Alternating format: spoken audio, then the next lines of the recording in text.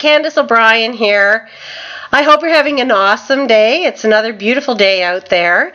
Today I want to talk to you about social media tips. Whenever you're on social media, one of the important things that you need to have is a picture of you. Whenever you friend somebody and they come to your page and they see a picture of a dog or, you know, a picture of a scenery or whatever and not a picture of you, they kind of wonder. Or even if there's nothing in the space where there should be a picture. I know whenever somebody tries to friend me and there's no picture of that person, I won't even friend them. If it happens to be a fa family or a friend that I personally know that want to friend me on one of the social medias and they don't have a picture, but they have a picture of one of their children or a dog, those people I will because you know, I already know who they are. But when people don't have a picture, I will not friend them because I don't think that it's right. I am in business online and I know how important it is that whenever people come to my page, they need to know who I am. They need to know that I'm a real person and that I am serious.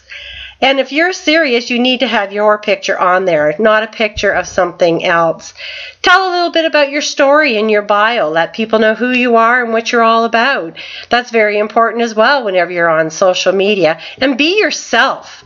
Let them see what kind of things you do, even if you think some of the things that you do are rather silly, or if you think they're not important, or if you've just started a business and you really don't have any kind of success stories to talk about.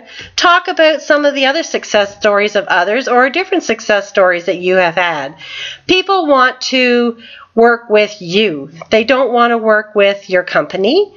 They want to work with you. So you're the most important person in order to make that connection in order for to have somebody to work with you. So it is so important to be yourself, so important to have that picture of yourself, and just so important to share your story about who you are and where you want to go. Tell them your dreams, tell them, you know, what what kind of things that you want to do with your business, where your business has been off to.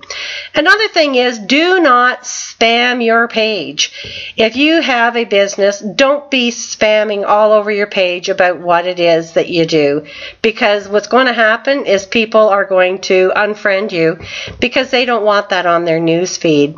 Also, whatever you do, don't go and spam other people's pages because that is real not good. Proper etiquette for social media. If you've got other social media tips that you would like to add to this ones, please comment below and let me know what your social media tips are. To learn more about me, click the links below. You can click and follow me on any of my social medias below. You can click and follow my website and uh, very easy to find. A lot of little places down there. And uh, you can click uh, subscribe to my YouTube video and learn more about me that way.